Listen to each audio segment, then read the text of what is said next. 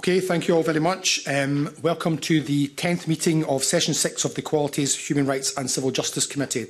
We have no apologies this morning. First agenda item is to agree whether to take item 5 in private, which is consideration of today's evidence. Are we all agreed? Okay, see nods all round. Thank you. Our next item is consideration of an affirmative instrument, the Draft Equality Act 2010 Specific Duties Scotland Amendment Regulations 2022. And I welcome to the meeting Michael Matheson, Cabinet Secretary for Net Zero Energy and Transport, who is accompanied by Scottish Government official, officials Ewan um, O'Neill, lawyer, and Charles Stuart Roper, Head of Environmental Governance and Strategy Unit, Future Environment Division. Scottish Government. Um, and I refer members to paper one. Can I invite the Cabinet Secretary um, to speak briefly to the uh, regulations? Thank you, Convener, and good morning to the uh, committee. The SSI you are considering today is routine and concerns the application of the Scottish specific equalities duties to the new environmental governance body, Environmental Standards Scotland. As ESS is established as a non-ministerial body, part of the Scottish Government administration through, although independent of ministers, it is automatically covered by the Public Sector Equality Duty in the Equalities Act 2010.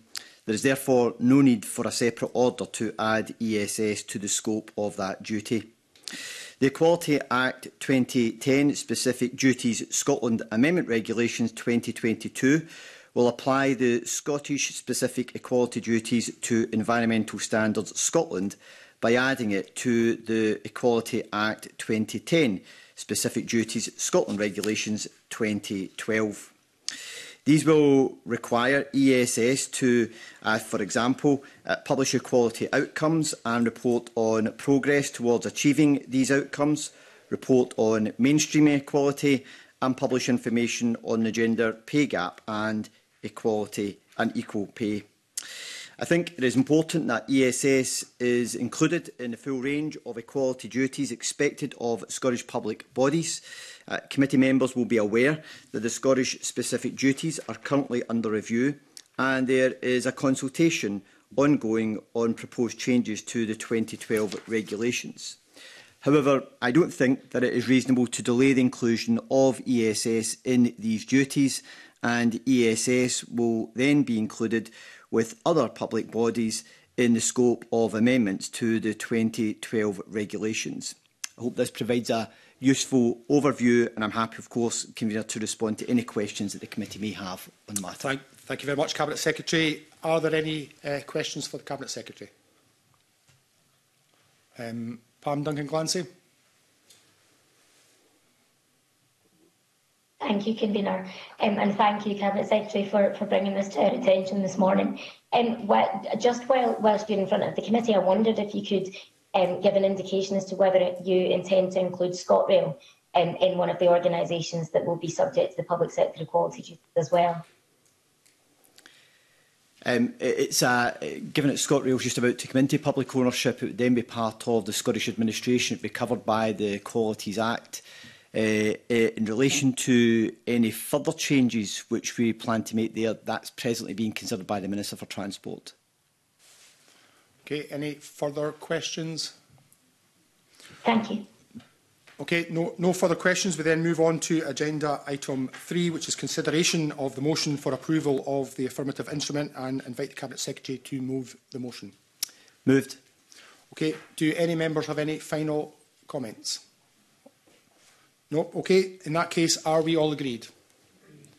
Okay, thank you. That is agreed, um, and I invite the committee to agree to delegate to me the publication of a short factual report on our deliberations.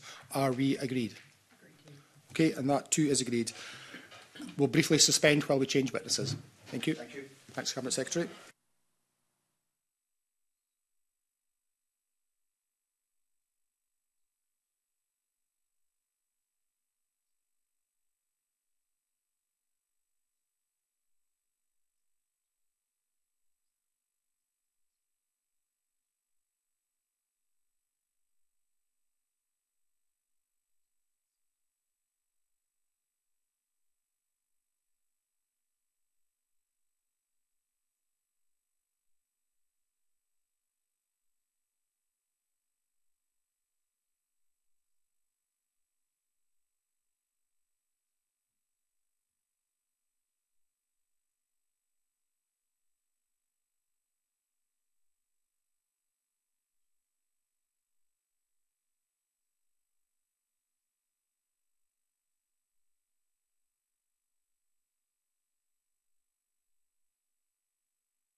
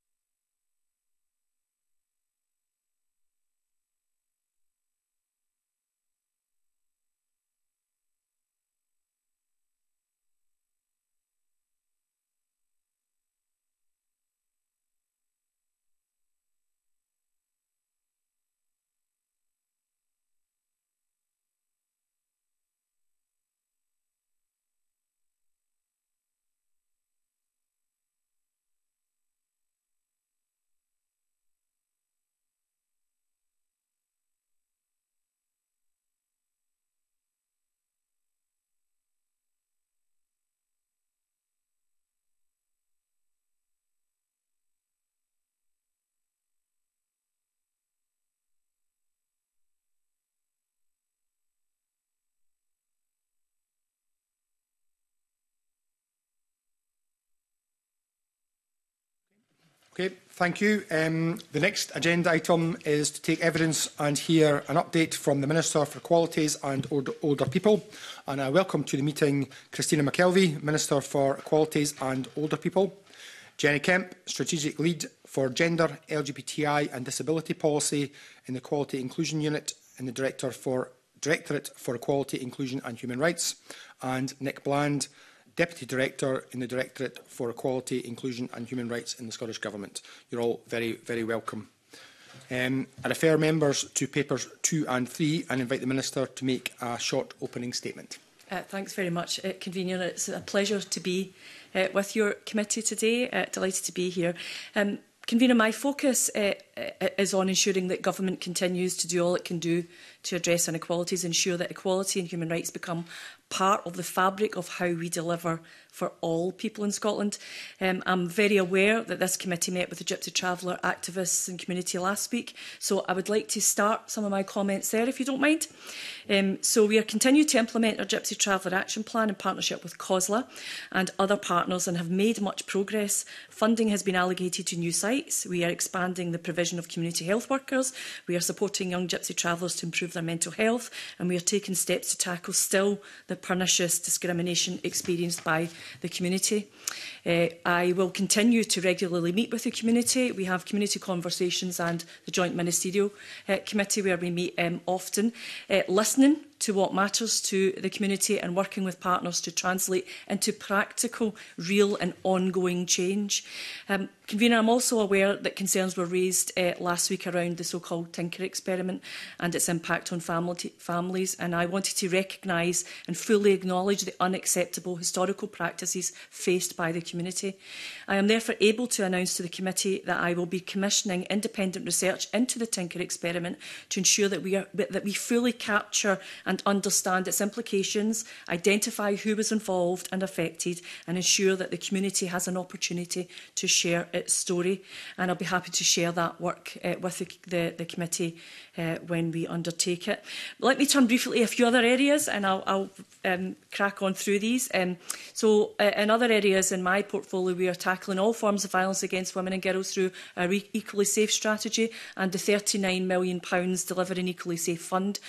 which supports 100 121 projects.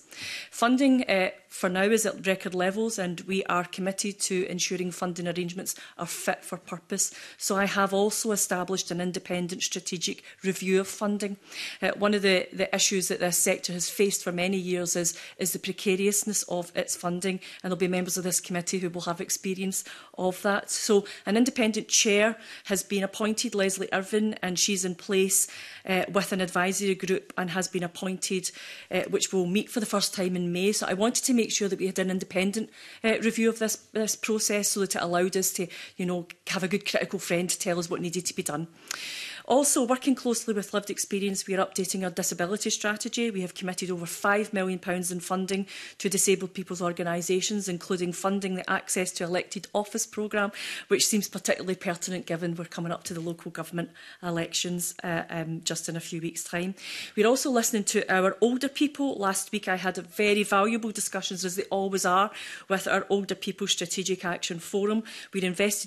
investing over 2.2 million of funding in supporting older people people's organisations and age equality projects. We are delivering an immediate priorities plan to tackle racism and address the unequal impacts of COVID-19 as identified by the expert reference group on COVID-19 and ethnicity. And this plan takes forward actions across government, including health, employment and education. The government is clear about the need to, to act to end conversion practices, as we discussed at the recent debate, and can I congratulate the committee on that debate and the work that you did on the report. It's been incredibly um, insightful and helpful uh, for us to move forward. So I'm pleased to tell the committee that our expert advisory group will meet for the first time on Thursday and it will complete its work by summer. And I will meet with them on Thursday, Thursday to support and develop that work too. And I can give you an update on that as soon as we, we have that, that too. Um, convener, a new human rights bill will be introduced in this parliamentary term and we will consult on it this year. And later this year, we will also consult on our first equality and hum human rights mainstreaming strategy. And again, these are work in progress and happy to update the committee as we as we go forward with that work too. And on Equality and Human Rights Fund, uh, which totals £21 million over three years from 21 to 24, supports 48 organisations tackling inequality and advancing rights. And finally, convener, um, we continue to support your human rights defenders. And this afternoon, I will meet two participants in the Scottish Human Rights Defender Fellowship Programme delivered by the University of Dundee in partnership with Scottish Government, Amnesty International and Frontline Defenders. I have to say these women demonstrate remarkable bravery and leadership in the face of daily threats to their safety and it will be a privilege to spend time with them today. I hope that quick run through of just a few things that cut across all of my work has been uh, helpful to you today and I'm happy to take any questions, Convener.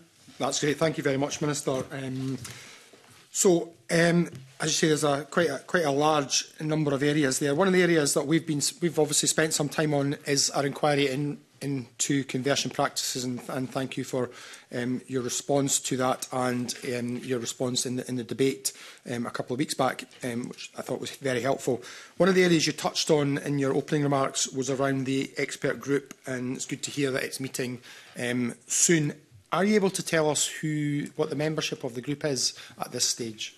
Yeah, no, convener, absolutely. I, I thought the debate that we had, I think the tone that was set it was was superb by the committee and it allows us to to move on in a really positive way. So yeah, the, the, the group will meet for the first time on the 31st However, over the last few weeks and after the debate, we had a bit of a think about who should be on that group, whether you know we had touched all of the intersections and all of the issues that we needed to, to focus on, and, and that debate really helped us in that area. So we've added a few additional people to that group, and they've yet to respond to say whether they can participate or not. So we will know uh, that by the 30th. So I can update the committee at that point about who the membership is, but please be reassured that we took a real wide view on this to make sure that every person, you know, that could maybe give us um, some support to develop this policy was on that group. And we also wanted to make sure that there was really good um, detailed and intersectional lived experience there as well. Uh, and that's where some of the additional members have, have come from to they will develop, you know, the work that they're doing and the remit, the remit goes you know, pretty broad and deep uh, in recommending what practices should be prohibited and considering a definition, uh, many of the things that we, we discussed in the debate. So as soon as I know on a uh, Wednesday or Thursday, I'll let the committee know about the membership of the group and give you an update on what they decided on Thursday. That, that, that's really good. Thank, thank you for that. I mean, as you know, the committee is really keen to maybe have more of a collaborative approach with government at the development of of um, legislation in this area and so appreciate to be kept up to date on progress going forward. I guess what, one of the other areas which we talked about in the, in the chamber in, uh, to some extent and certainly um, was covered in our um, inquiry was around the intersection between reser reserved and devolved um, areas in, in, in relation to conversion practices. Have you managed to have any further discussions with the UK government in terms of how, how we make sure that there isn't um, unintended uh, loopholes um, in, in any future legislation. Yeah. So, so obviously you, you would have heard me in the debate saying that I didn't think the UK government's plans went went far enough, uh, but was happy to work uh, along with them. So, so we are continue to build uh, that relationship as as we speak. And I think once we have met on Thursday with the expert reference group will know about the areas where they want to advance in some of that so that we can really focus in uh, on that. So at that point, I think, you know, I will make a, another approach to the UK government for an update on where we are now because since they published the, the work that, that they were doing in the consultation that they had uh, undertaken, you know, we, we've moved on. Uh, so I think that we need to get that as, fre as fresh as possible. So as soon as the, commit the group meets on Thursday, um, I think I'll go back to the UK government and ask for an update on where we are. And to to try and release some of those tensions around uh, uh, re reserved and devolved matters because I think we want this piece of legislation to work for, for everyone and we obviously want it to work in as many jurisdictions as possible uh, and that you know means that we have to work very closely with our colleagues at Westminster and I'm happy to do that. Okay, thank you. Does any of the committee members want to come in on a supplementary in that area, conversion practices, or are we good to move on? Okay, Maggie. Sorry. Thanks very much, Joe. Good morning, Minister, and uh, really, really happy to see you with us this morning. Uh, welcome, welcome to our committee. Um, and thank you for starting and opening your, your remarks talking about the Gypsy and Roma traveller communities. I think last week's session was, was a really, really important part of, of the work of this committee. And we heard several concerns expressed by witnesses last week around the long-term sustainability of Gypsy traveller communities And also that's some of these concerns are not new. Davy Donaldson especially spoke, he said, you know, five years ago they were talking about stagnation on, on work on the action plan and, and other support. One of the things that came out quite strongly though was at the start of COVID, there was very, very clear coordination across services that has now fallen away. And I suppose my first question is how can, can you comment on how we can collectively ensure that the partnership working that we need, the, the sort of overarching holistic approach that we need is not piecemeal, but actually reaches into the different, the different policy areas, the different support areas in an effective way that secures the long-term sustainability of gypsy communities. Yeah, absolutely. There's a, few, there's a few ways we're tackling all of that. So we we published the Gypsy Traveller Action Plan mm. in October 2019, um, you know, and we we got on uh, in, into doing quite rapid work mm. uh, very quickly um, in that. COVID hit, we had to pivot everything that we had to making sure that we could support gypsy travellers uh, in communities with, you know, temporary sites, negotiated stopping, all, all of the things, you know, sanitation, all of that had, had to be put in place. We, we put in a, a basically a, an action group to do that, working alongside stakeholders and, and the community and our colleagues in, in local government. And we're able to, uh, you know, pivot that work and put that support into place very, very quickly and actually to deal with some of the issues that had been ongoing for a very mm -hmm. long mm-hmm. time around about, you know, new sites and negotiated stopping. So we've learned a lot from, from all of that and we uh, intend then to apply that to, to the work that we are doing now. Now, get to your point about the worries about sustainability. So one of the conversations I had, so I had a community conversation, which we do very, very regularly with, with the group just two weeks ago, and then we had a joint ministerial uh, group with the, the community representatives last week as well. So, so bang up to date and eh, all of this and all of those concerns and your committee work last week obviously complemented all, all of that to hear uh, the comments coming in and the priorities were incredibly important. So What, what we've, um, we've, we've done is to re-establish that work. Um, we decided to extend eh, it because the, the the plan was for two years. That 2 mm -hmm. years has been eaten up by COVID. So, yeah. so we agreed to extend until October, and I'm now having conversations with the community about how further we can extend the action plan work, which means that that joint ministerial group, you know, uh, uh, jointly chaired by our colleagues in COSLA, that will all remain in place to drive it right across all of the areas in which we need to drive all of the changes. We've made lots of progress. There's been many, many things. I'm, I'm just looking, I've got a list of things that I could run through um, very quickly of the things that we've done. The Gypsy Traveller Accommodation Fund, mm -hmm. which was an initial £2 million, which has now been spent, and we're just waiting for local authorities to give us update on the progress that we've made there.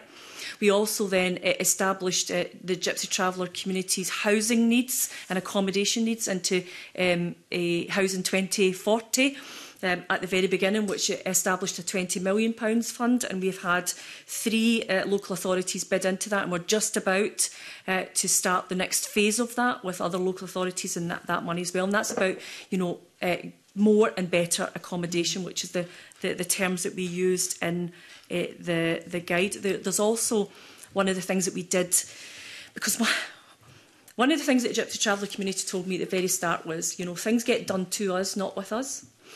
So when I look at my, my portfolio and the things that I do, the term nothing about is without us is just not a term for us. It's an actual working uh, you know, ethic. So we have lots of opportunities, lots of working groups, lots of stakeholder engagement to ensure that the policy development part of all of this happens with people, not for them. And that's where we have done this incredibly well, I think, in the Gypsy Traveller Action Plan. So one of the things that, uh, that they told us at the time was the design of sites mm. were mm-hmm. not designed in a culturally appropriate way. Yeah. So what we've got now is a site design guide. And the three local authorities who have got the money now, one of them's Manager, um, Aberdeenshire, and I think, where's the other one? Uh, it's off the top of my head, I can't can't remember. I'll come, I'll come back to it. But um, but they are using the new site design guide, and they're going to uh, you know learn the lessons from some of that, and then we can tweak it to make it work much better. But some of the ideas that the community themselves have come up with that are more culturally appropriate were like you know why why was that not done before yeah. and it not, wasn't done before because of that just really quickly mm -hmm. community mental health as well so we've got five new community mental health um, workers recruited from the community. That was one of the things they asked for as well, is to have those links, you know, that people in their own community were the people who were giving them that support. And we've got some additional funding coming in for that. The same with early learning and childcare, the support to pivot to digital working. Um, actually, for a lot of Gypsy Traveller children, seem to be a very successful way of learning. So we're learning some of the lessons and how we can do that, working with STEP and the funding that we've put in to place for them. So don't, hopefully that's reassured you a bit. Hopefully you've understood that um, stagnation is not a word that's in my uh, dictionary when it comes to this work. Yeah. Um, you know, it, eh, we will continue to drive it. The Joint Ministerial Committee means that we have health ministers, employment ministers, uh, social security ministers, you know, planning ministers all sitting at the same table driving across their own portfolios what happens here. And I do a monitoring of that very, very often to make sure that we're making the progress that we need to make. Super. Th thanks very much for, for that. That that that is reassuring. And I suppose two things come out come out of that for me. They, you, may, you mentioned the monitoring, and I suppose they, there's something about one of the things that we heard last week was that the accommodation fund was really welcome, but it was quite slow, and then um, the not there isn't always the certainty or the follow-up that it's actually been spent in the, in the right way, in, inappropriate ways. Would one way to help, help that work um, be to include a statutory requirement um, to set out deli a, uh, uh, a delivery plan for public bodies like local authorities, like health boards. We heard that as one of the recommendations last week for, from one of our witnesses to, to actually enshrine you know, th there is a duty here. It's not just a nice, nice to have. This is a central part of, of what our public agencies and public bodies need to be doing to help um, connect to help uh, finish the circle, I, I, suppose, to ensure that there is actually that, that very, very clear uh, follow through and delivery. So I'm, I'm really open minded. I was really interested in that comment mm -hmm. that mm-hmm. was made last week. So I'm, I'm happy, you know, to, to take those conversations further uh, to see how that goes. we do have the public sector equality duty of in course. place. So there's already those those um, you know responsibilities place. We have the review. It's still open to I think the 11th of April. Yep. So if you've got, you know, uh, stakeholders or, or your, yourselves want to, you know, make a contribution to that, please, please do that because the more specific and detailed contributions we get to that, the better outcome we will have when we set those, those new duties. So we have that. But I think one of the key things here is those community conversations meetings that we have yeah. very regularly and the re-establishment of the joint ministerial group because that will drive both at government level up and at a political level, you know, that change from the top down, but working with the community to make sure they can drive it from their needs up rather than, you know, things being done to rather than yeah. for. Uh, okay. and with so so ho hopefully you know we, you know all, all, of that will again reassure you that you know we take this uh, extremely seriously but the public sector equality duty is already there we're reviewing it and that you know there, there's there's space there to to, to add any of the, the, the details of the comments. But that comment that was made last week, I'm really keen you know, to, to investigate that a bit further. Thank you. That's helpful. Thanks, Judith. Thank you. Um, ju just to say, I don't know if I said properly at the start, if any of the members who are joining us virtually want a supplementary, please put that in the, in the chat just um, to make sure we can, um, if it's in relation to the same topic. Um, we'll now move on then to Alexander Stewart. Thank you, Convener, and good morning, Minister. Delighted to see you here.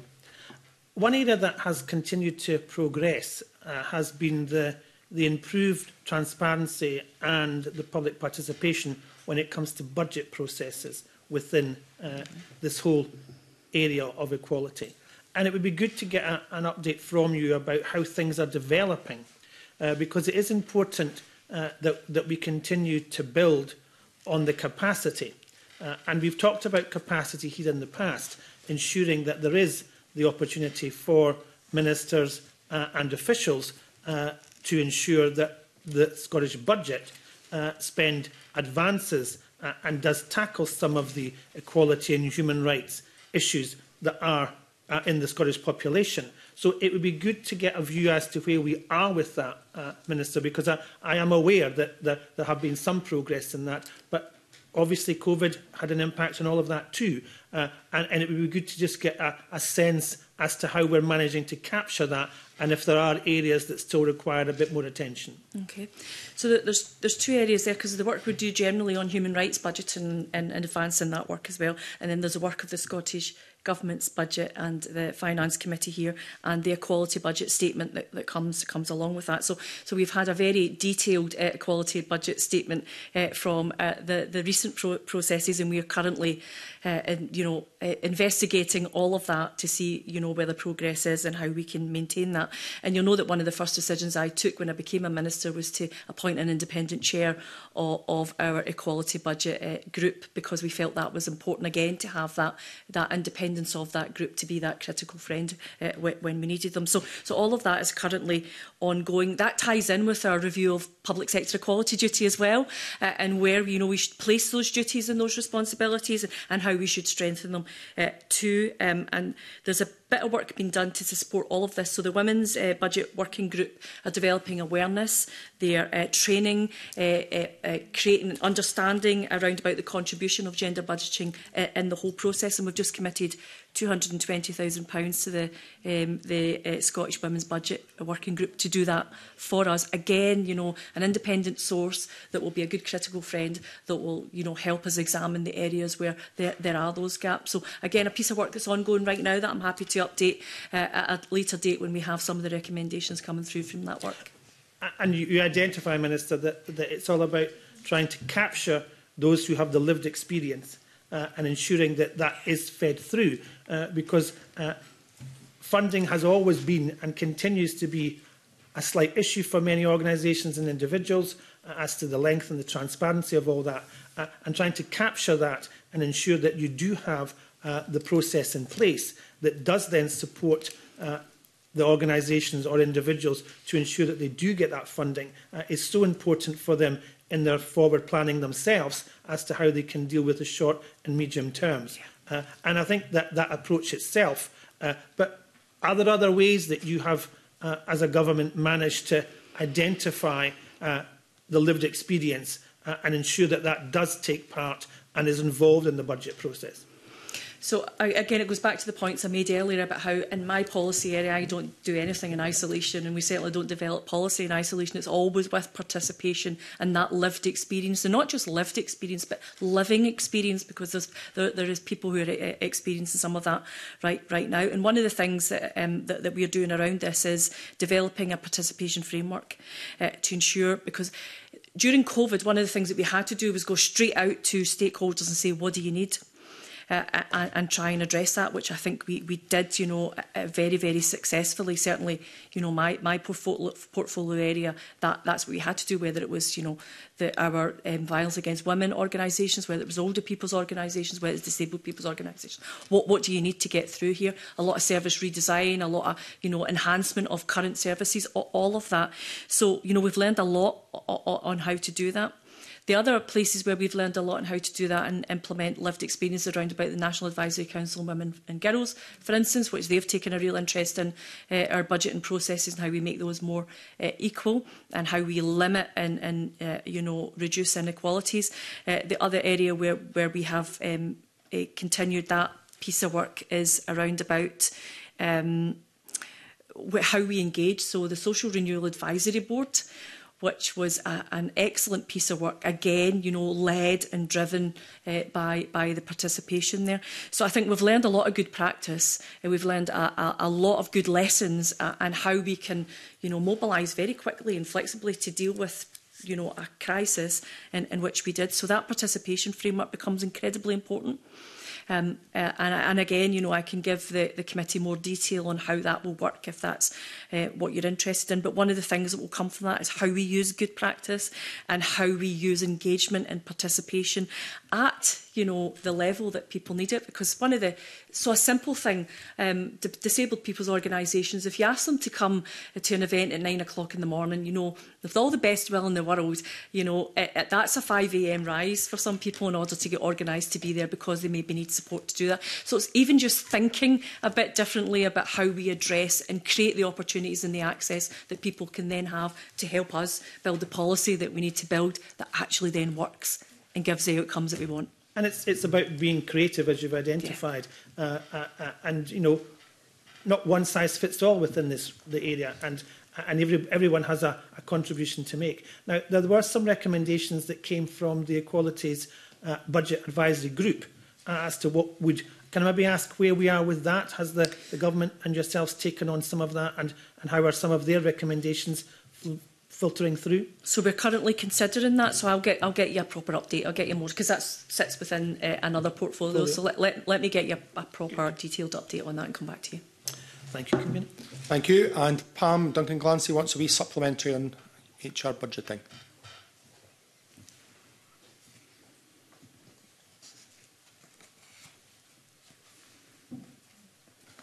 Pam Duncan Glancy. Thank you, Convener, and um, thank you, Minister, for, for your responses so far. Um, it's, and it's also just to say uh, on record, it's lovely to have you back. Um, I, I wanted just to ask a question specifically about um, disabled people's organisations, but also other civic society organisations. Um, there was a report published last week by the Inclusion Scotland on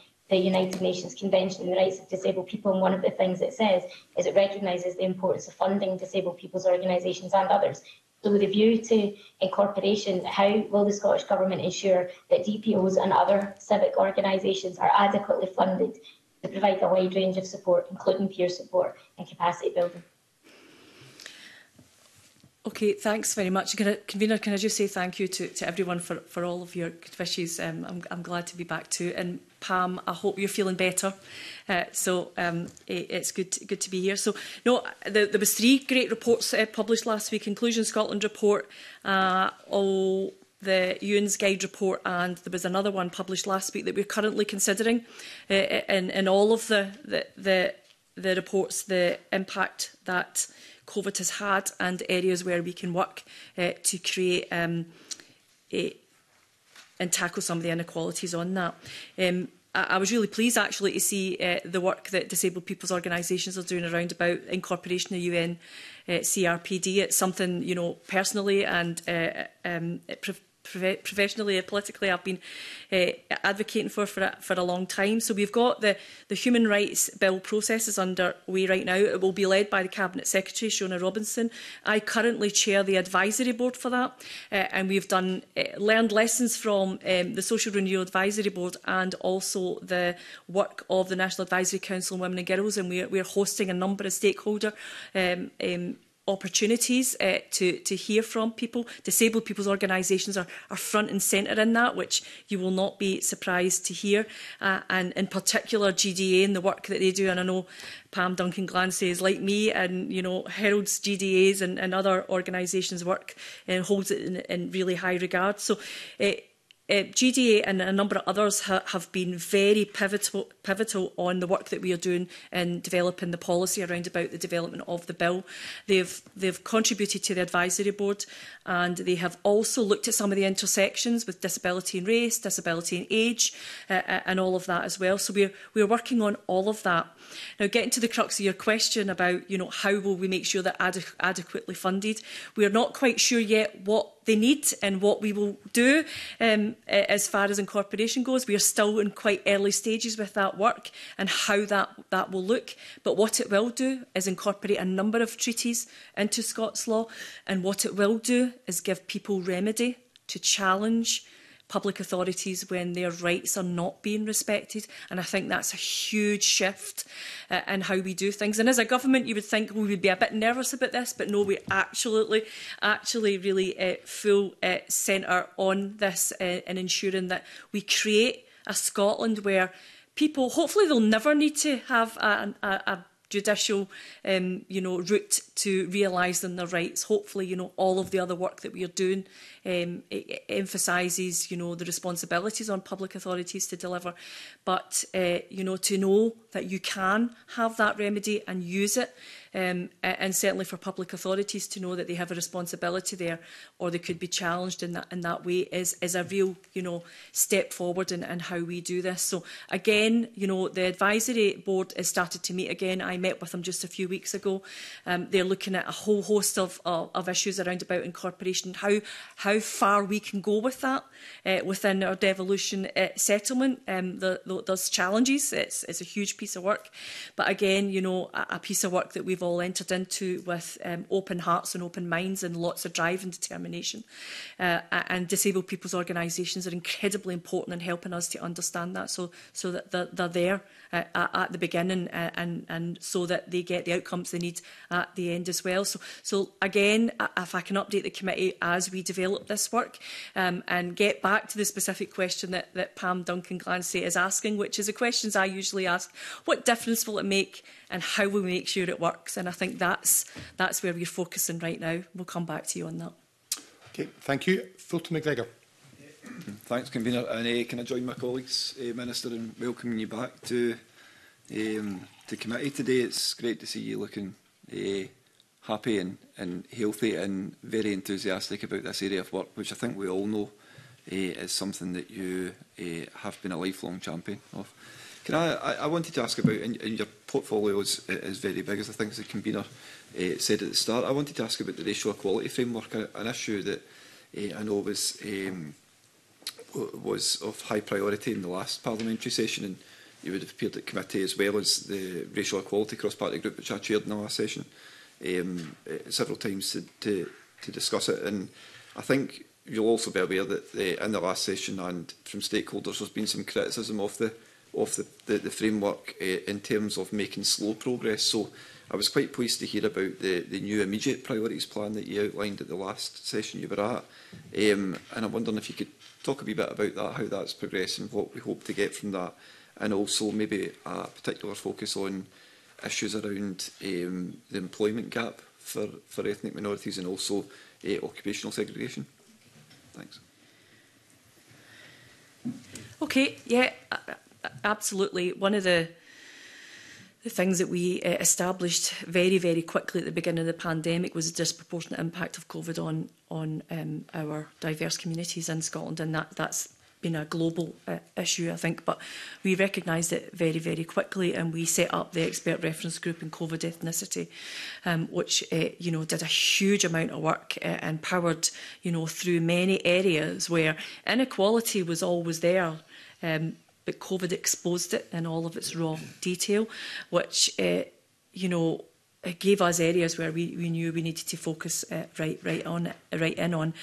So the expert reference group produced a number of recommendations, some of them, you know, policy areas, some of them practical areas. So we've got two sort of a sets of recommendations there. Uh, and we've taken forward uh, uh, all of them and, and accepted all of them as well. Uh, and one of the the ways we looked at it was was okay, here's the practical things that we need to do quite quickly, and we put some of that into place. You know, having you know culturally appropriate um, uh, media and advertising on on the vaccine, uh, making sure that all of the information around about COVID and where you could get support was culturally appropriate. Uh, you know, funding the Ethnic Minority Resilience Network. And if you've not had a chance to meet with that group, it grows every day.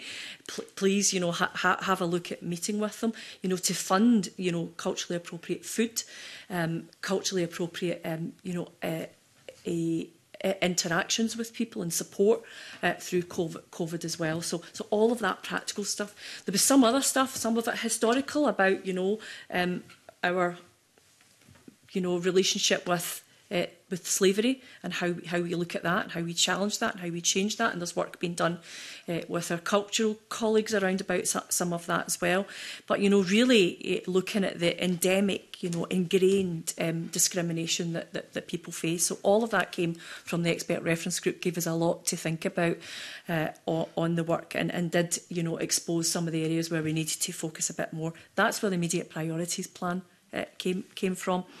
Uh, and the immediate priorities plan, um, we, we published it quite um, recently. That was published in September 2021. So hopefully you've had a chance to have a, a look at, at that as well. But that, that looked at things right across, you know, the impact of COVID. It was, um, you know, looking at our race equality framework from 2016 uh, to 2030. Um, it covered across many portfolios, health, employment, education, housing, poverty uh, uh, and other areas of government. And it took a really um, comprehensive and strategic um, uh, review uh, to inform our planned pro programme of systematic change.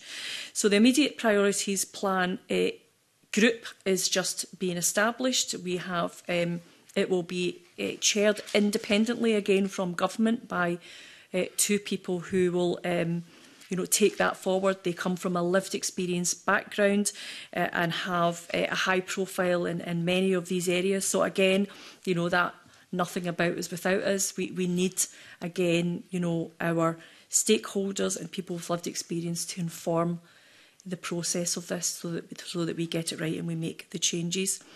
Um, That will be called an interim governance group and that will develop an anti-racist accountability and oversight uh, view. Um, it will deliver on all, all of our commitments and as I say it will be uh, independent. It will also explore models um, for permanent external oversight. So although we currently have um, you know, the EHRC and the SHRC as regulators when it comes to discrimination. We felt, you know, it was important and one of the recommendations that came from the ERG, the expert reference group in COVID, was to have a external um, oversight governance body that, that takes account of the progress that's been made and holds government and public authorities to account as it does that as well. So the the interim group will look at that. They'll develop that model and they will um, come up with their recommendations and how we move that forward. Um, and that responds directly to those challenges of this has been a bit slow or we've not seen much progress here. There is lots of progress across many areas, but um, you know, if our stakeholders are telling us they can't see it, then we need to take the responsibility for that. And that's why we felt the immediate priorities plan was a way to do that, to have that independent chairing of that group and to have that oversight body in place. Um, I think on employment and the occupational standards um, stuff, I know Mr Lockhead is working on this right now and there's um, particular uh, areas that he's picked up. So again, um, it sits within his portfolio responsibility. So I'll uh, endeavour to go back to him and ask for him to give you an update on, on where that's all sitting right now. The ethnicity pay gap sits within that as well. We'll yeah. get you an update th thanks very much, uh, Minister, and thanks for the very comprehensive response as well. Probably anticipated uh, quite a few of my possible supplementaries there, so the convener will be glad to know that uh, I, I don't have many more, but I suppose just focusing on the, uh, the employment aspect that, that, that, that we ended on there. Um, it is obviously uh, across other portfolios as well, like, like Richard, uh, as you mentioned, but I guess from a a general overview, do you feel that, that by implementing this plan and by if, the, if this plan is is successful and it's, uh, and you, you know what we hope to achieve that that will have a have a a big impact on employment because you know yourself how how uh, much of a concern that area is. There was a the, the, the, this last committee in the last session. I know it wasn't exactly the same committee. It uh, had a had a review on it, it is, itself, and it's something that comes up as you know so often absolutely, there's a real drive and determination to, to, to, to limit all of those inequalities uh, because, you know, they, they sit there and, and uh, we, we've, we've got a responsibility to do that as well. The, the work that we have done on the Gypsy Traveller Joint Ministerial Group is incredibly important here because that model has worked incredibly well in ensuring that other ministers are driving across their portfolios those, those changes as well. Um, and the work of the previous committee uh, has informed that progress, process and the work that we commissioned CRERE to do, which they published a report um, last year that, that we um, commissioned them to do, informs that, that process as well. So uh, rather than me pulling things out the back of my head on, on what the other ministers eh, and considering doing, let, let, me do that, get that update for you uh, and, give you that. And if you want to bring us back to, to discuss it at a future date, uh, I'm sure Mr Lockhead or myself would be happy to do that. Thanks, Mr. Okay, thank you. And Pam Gossel, please. Thank you, Convener, and good morning, Minister. My question, um, there's a kind of supplementary I've got um, uh, moving from Fulton's question. We heard from witnesses that during the pandemic, uh, Bay Moon felt misunderstood by mainstream services due to not having the understanding about their culture and therefore they were less inclined to use the mainstream services after suffering domestic abuse and there was increasing resilience on the um, reliance sorry, on the third sector due to this. Can the Minister tell me what's been done to tackle this flaw uh, in the current system and in order to achieve capabilities and capacities set out in the race equality framework? Yeah, no, th thanks for your question, your, your good, good wishes. Pam, um, uh, we had a lovely day doing the International Women's Day uh, uh event, and it was um, again lots of questions like this were, were, were brought up up there. Uh, gives us lots of food for thought. Um, I was very mindful of ensuring that you know we had a, a you know culturally and diverse communities. Um, eh, approach during the pandemic and worked very closely with a number of stakeholders. But I do recognise uh, the issue, and it doesn't, you know, sit just squarely within our um, race equality plan. It sits within our violence against women work as well. Uh, and you'll know that the National Advisory Council on Women and Girls did a piece of work um, the year before last, I think, on intersectionality uh, and brought you know many uh, new voices uh, into those circles on, um, you know, the access to mainstream services, how we tackle, you know, FGM or um, uh, um, honour-based violence and, uh, and some of the, the, the cultural um, you know, nuances uh, that are in there. So, so we've taken all of that on board as well. We're doing an immediate sort of update and refresh your e-, equally safe plan. We're also um, looking at the long-term sustainability of that, and that's what um, you know the Leslie Irvin uh, uh, group will do. But also looking, you know, at those intersections and how important they are, in the intersections with, with with race. So, so one of the things that we have looked at is how uh, our equally safe joint board is made up. So that's jointly chaired by me and Kelly Parry, who is the spokesperson at COSLA right now. Um, and you know taken forward uh, across many portfolios as well, including with our justice uh, colleagues. But one of the pri priorities we're looking at is primary prevention and how do we ensure that that works very well in that area, and how do we tackle those those intersections. So, so one of the things that we we did do was was look at some of our key partners, uh, and you know talk to them about you know what what how they could engage with, with the board. And it was very apparent that we needed some of them to come onto the board as well. So I'm really pleased that Mariam Ahmed, um, who I, I think, Pam, you'll know, I, I've known Mariam for a number of years at Amina, uh, will be joining our joint um, board. Um, uh, she will be uh, helping to uh, support us in our responses and the actions that we take and understanding uh, how actions could work around about honour-based violence um, FGM through the lens of an equally safe strategy, which is a wider strategy around about um, reducing violence against uh, women and girls. Uh, and again, you know, taking that gender and um, race equality uh, lens uh, and placing that on it. So I'm really looking forward to working uh, with Mariam on that and I hope um, that will give you some reassurance that the issue that you've brought up today about you know that that gap or that that concern that we're we're attempting to address that. We'll stay with Pam Gossel for her substantive question now, I think. So, so sorry, I just wanted to say, Minister, thank you for that because that's very promising because that was something they brought up that representation on the boards was not there, hence why they could not understand the culture. So it's really good to hear that you've got Mariam on board there. Just on my question, you did actually touch on FGM. So uh, obviously the paper state that most of the FGM 2020 Act is not yet in force. Yeah.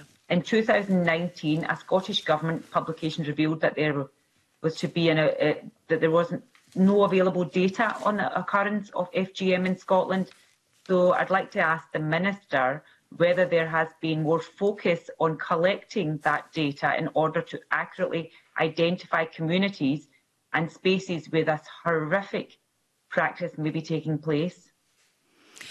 Yeah, it was um, quite poignant actually the last piece of work that this parliament did before we went into lockdown was to pass that bill that that that day um so uh, it was it was it was great to be able to uh, you know have that bill and pass it but then again you know we went straight into lockdown just mere days later um and and all of our work had to be focused towards supporting people in their communities um, in all the ways that I, I explained before, including through the Ethnic Minority Resilience Network. So the work on the FGM uh, eh, guidance uh, ha has been delayed. Uh, and, uh, you know, really... Uh, difficult decisions ha had to be taken at, at the time. So um, we are now uh, re-establishing that work. Um, there's a couple of key achievements that I think, you know, in developing that, and that will be a publication of our multi-agency non-statutory guidance on FGM as well, because I think that's important that, you know, it's right across all agencies, because some of the areas where, where we've seen uh, work that needed to be done was around about education, around about health, around about justice measures, uh, all of that were all included within uh, that bill, which is now our act, and we are continuing uh, now uh, to to re-establish that work and implement it uh, and, and use it to enhance our equally safe strategy as well. Um, There is specific references in our Equally Safe strategy to FGM, uh, and you, we, we know it's a, a practice that it's abhorrent, as you say, uh, and it abuses human rights. On the issue about data, data has been an issue that's been uh, um, raised a, a number of times uh, along a lot of equality measures, and the Chief Statistician right now is undergoing a piece of work and looking at how uh, we can uh, collect more equality data, the responsibilities that will be placed on public authorities to do that, and how we use that data to force and drive change uh, uh, as well. So his work is, is is undergoing right now. He's published some of that work already, but again, you know, happy to um, eh, initiate the committee having an update on our, uh, we're calling it the, e, the EDIP because it's about uh, equality data uh, uh, in, in the work that we do. So, so let me do that as well and get you get back to those points that, that you've raised, um, uh, Pam, around about how do we collect that data? What, what do we collect first off, how do we collect it and how we use it to drive, drive that change? And he's working on that right now. So I, again, I'll get you an update. Thank you, Minister. Convener, that's me. Okay, thanks. thanks very much. Um, thanks for, for covering the wider data um, point, Minister. That be, I think, be really appreciated by the committee to get that update. It's um, something we've heard on a number of areas that um, quality data is really important in, in, in um, this committee's remit and, and, and your remit likewise. So that would be good to get that update. Thank you. Um, moving now on to Karen Adam, please. Thank you. Thank you, convener, and um, it's an absolute joy to see the minister before us this morning for many, many reasons. Um, I would like to ask, in regards to the equally safe strategy, um, is there any updates on the, the review on that? And a couple of um, areas I'd like to focus on really is we've been hearing a, a bit of feedback in regards to the intersectional approach on that and also the equally safe uh, within schools if there's been any feedback or review on how well that's doing. I know that there has been a lot of talk in regards to preventative measures and you know the, the focus and, and onus being the perpetrators as well. I'm just wondering if that has been taken into account within the strategy. Thank you. Okay. Uh, thanks very much uh, for, for the question and, and the good wishes, Karen. Thank you. Um, Mm-hmm.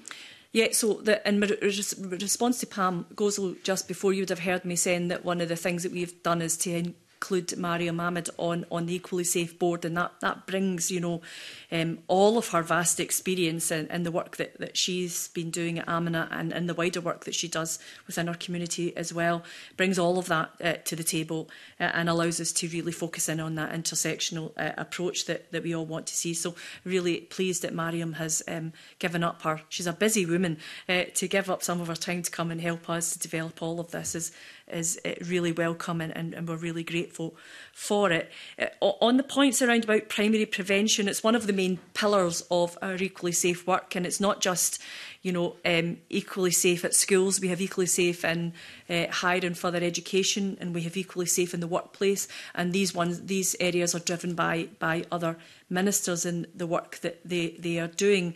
Um, and recently. Um, We've been hearing about uh, the benefit of equally safe uh, in schools uh, and further in higher education, and, uh, and you'll be familiar with the work of Fiona Druitt and Emily Test and how she's driving uh, a lot of that across uh, campuses across the whole of Scotland. She's absolutely formidable and we're, we're grateful for her for driving all of that work.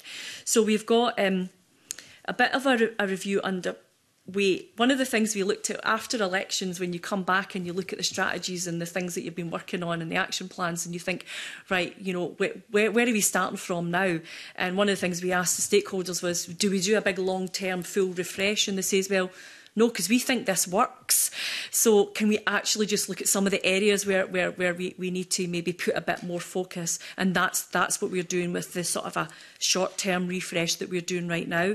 I met with the board just a few weeks ago and we um, actioned or started to action a, a number of those points. Again, I'll come back to the committee with a fuller update uh, on that in the coming weeks, if, if you don't mind. But we had 100, uh, we had 100 days commitment um, to direct new funding uh, uh into this, uh, this area area, £5 million uh, to rape crisis centres and domestic abuse uh, services. And that was to cut waiting lists because we know some of the challenges uh, around that.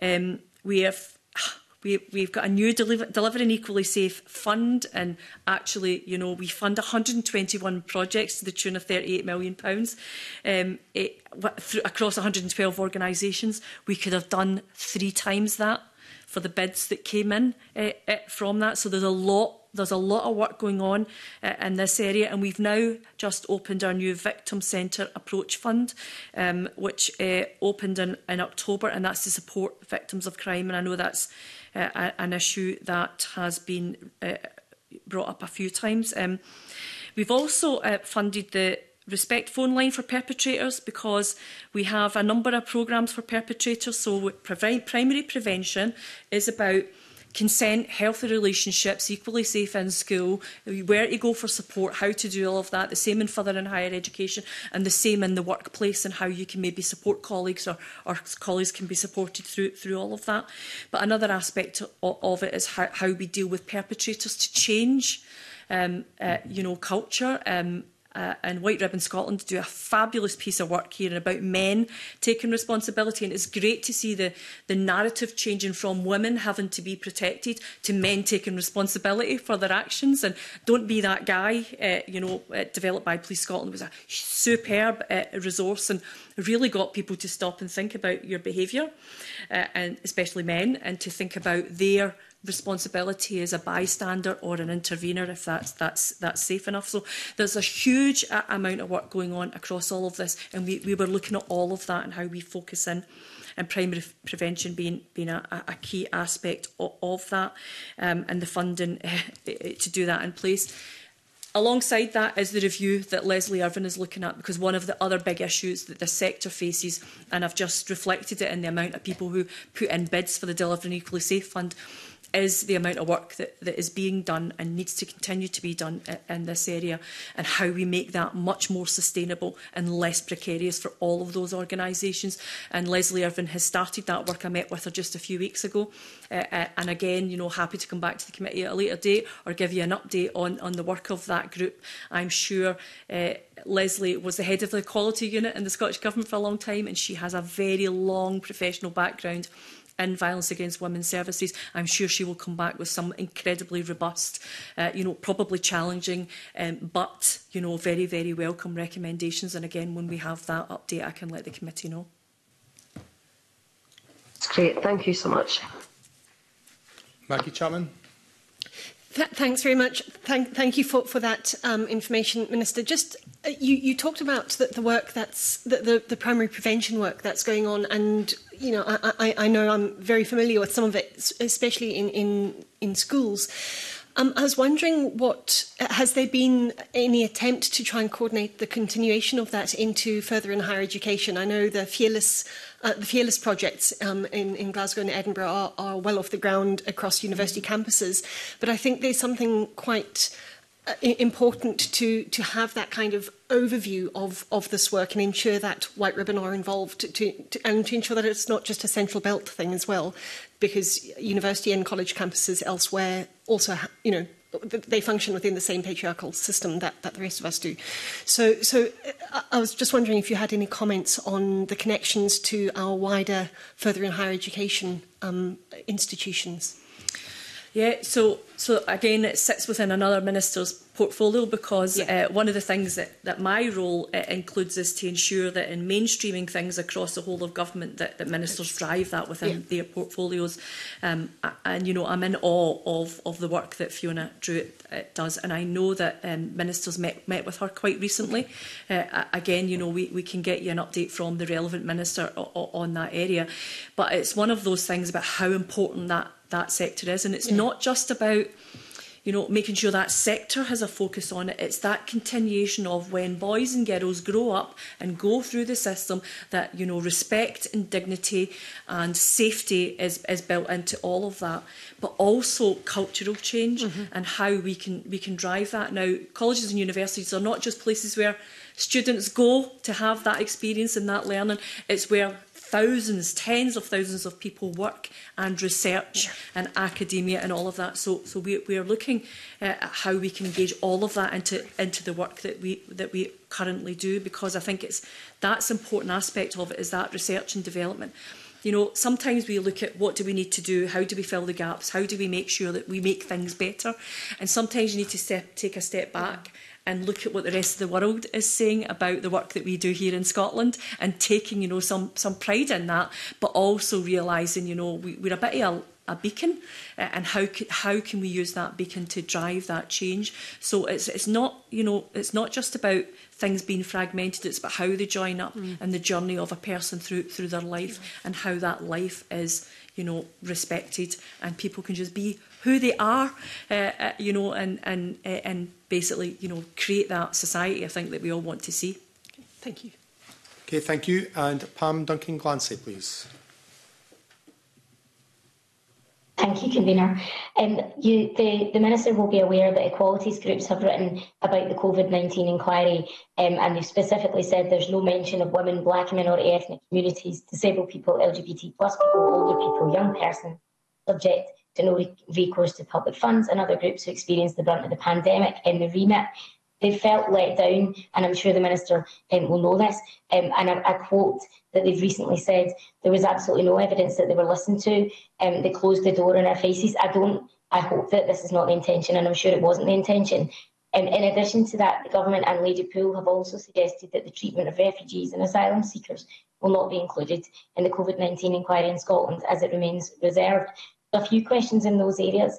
And um, starting with that point, um, does the Minister accept that local authorities and NHS health boards do play a significant role in the treatment of these groups? And therefore, would you agree with me that this should in fact be included in the inquiry? Um, I, and then further on the, the issues from equalities groups that was that was raised, and also the work that this committee has done on women's unfair responsibility for unpaid work. What more could the government do to ensure that voices are heard within the inquiry?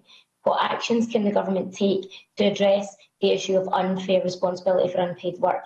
And um, further to that, um, what more could you intend? What more could you do, and what do you intend to do to implement split choices and universal credit payments that could relate and, and specifically support women in those situations? Convener, there's, uh, there's, thanks for all your questions, Pam. There's a, there's a, there's a lot a lot in that. Um, it, eh, you'll know that um, the Deputy First Minister is leading on the uh, uh COVID inquiry work and uh, um, I'm sad to hear that organisations felt there was a closed door because uh, it's certainly not uh, not the way I, I see it, um, it eh, from the work that, that we do here. But you make a, an incredibly powerful and important point there about participation uh, and how people feel uh, listened to. Uh, if, if you'll allow me, convener, I, I'm happy to, to take that back to DFM uh, uh, and let them you know, know about that because I think that's important uh, and, and see where we can go with that. I know that he had written to the committee some weeks ago with a, a lot of detail uh, e, in all of that. So, so let, let us do some, some of that as well. I, I know that colleagues across government have been looking at the impact on women. Uh, and the impact on unpaid uh, work again does doesn't sit with me in, in my portfolio. So again, uh, one of the things that I'll endeavour to take away and raise with um, the relevant minister and, and, bring back to the, the committee convener and and obviously Pam Duncan Glancy on her questions there. And the, the issue around about uh, universal credit payments. I just wish we had control of universal credit in Scotland because it would not be in the shape that it is now and it wouldn't have, you know, a rate clause and a two-child cap in it, for instance.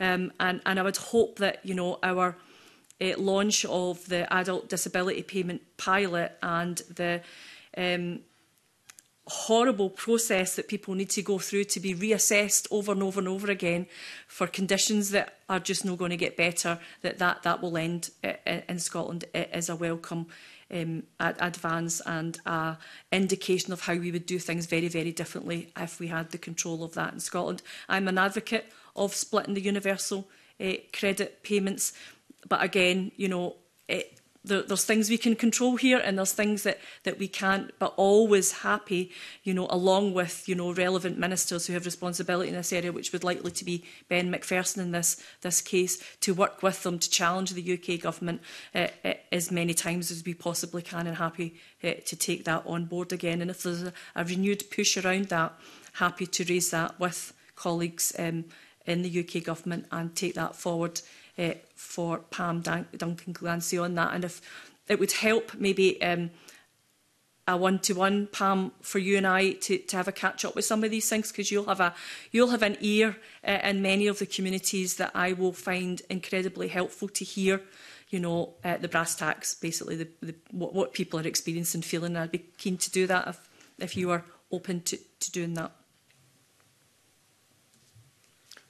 Thank you, Minister. I'm um, very, very happy to do that. I'd appreciate it. My understanding is that the split payments is part of Scottish Choices and Universal Credit, and that we um, have the powers here in Scotland to, to make some adjustments as to how Universal Credit is paid.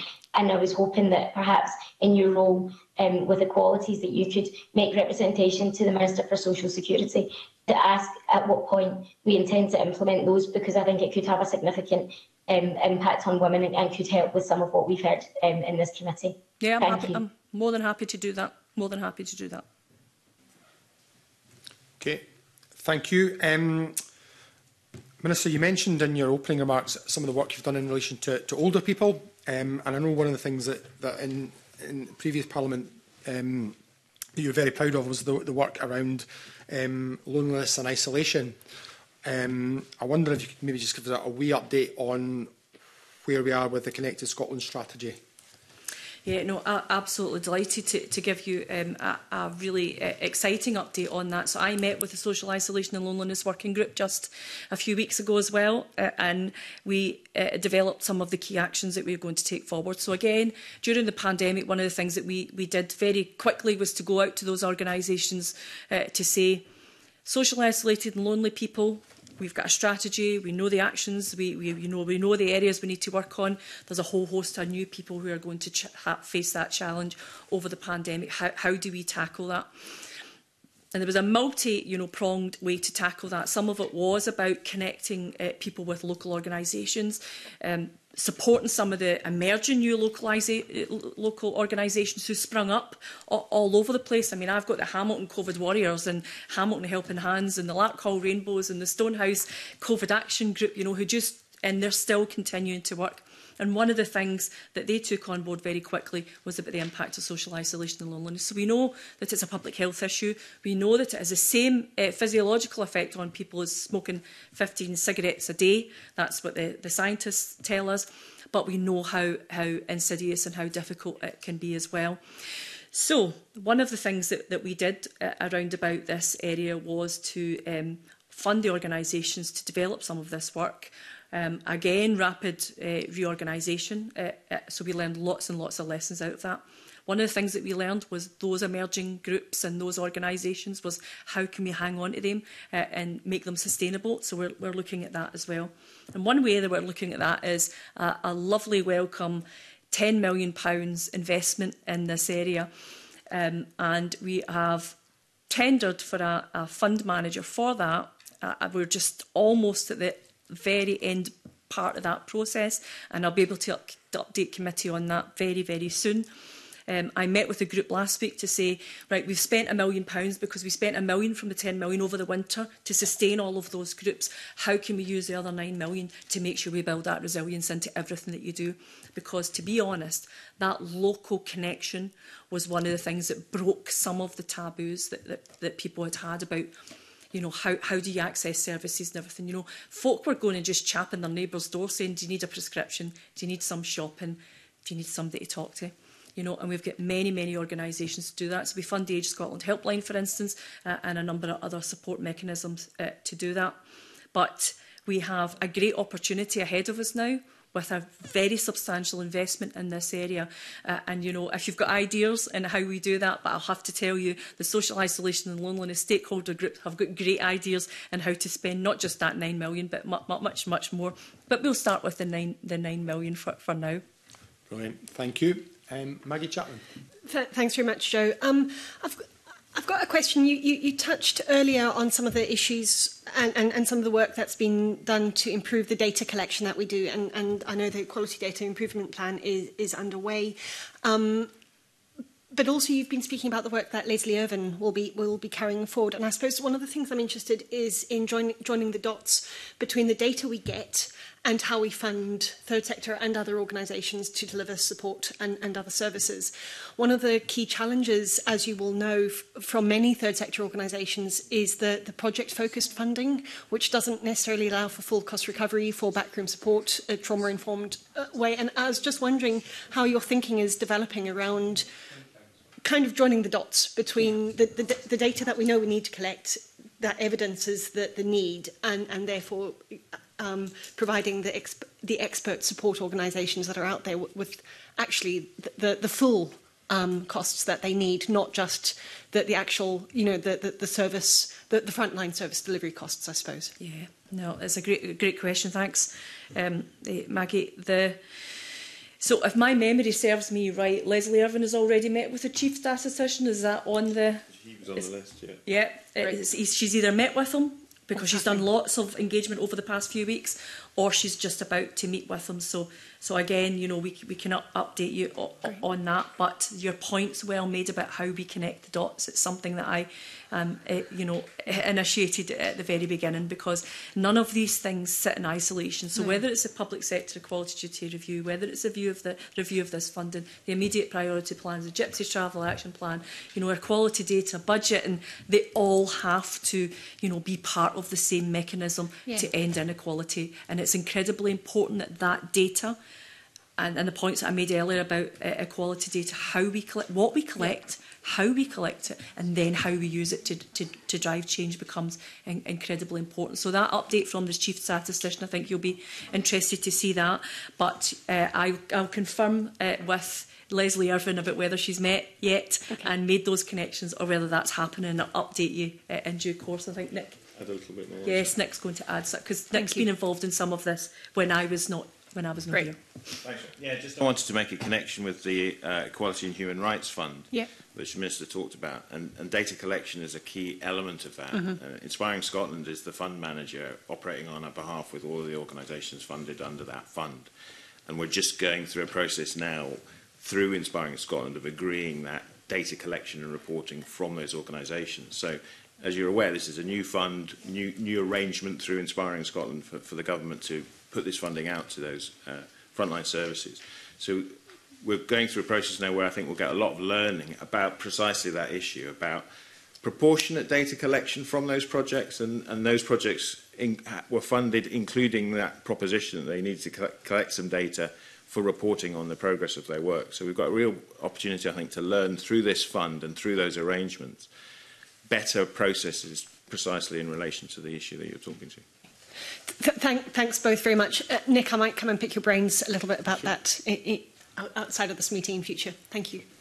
Okay, thank you. We're almost at time.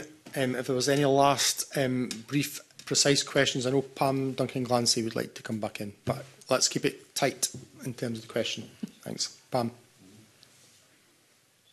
Thank you, Convener. I'll be very brief. Um, on the basis of the UNCRPD report that Inclusion Scotland published last week, I wonder if the Minister could ask, uh, could, could tell us um, whether she believes that we'll meet the targets of having the disability employment gap by 2038, and if so, how, and could we get a short update on the progress of the disability employment plan? Thank you.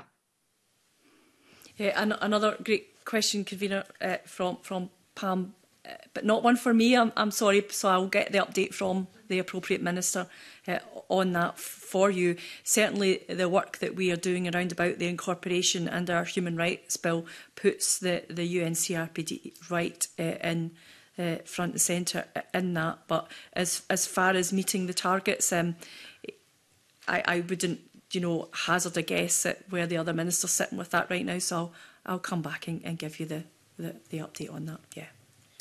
Okay, well, um, I think that's um, we've slightly gone over our time. Thank you so much, Minister. It really is really great to, to see you back here today, and um, uh, thanks for your time and giving us a bit more of your time than we previously agreed. Um, with that, um, we'll move. Um, we'll end the session and move into private. Thank you.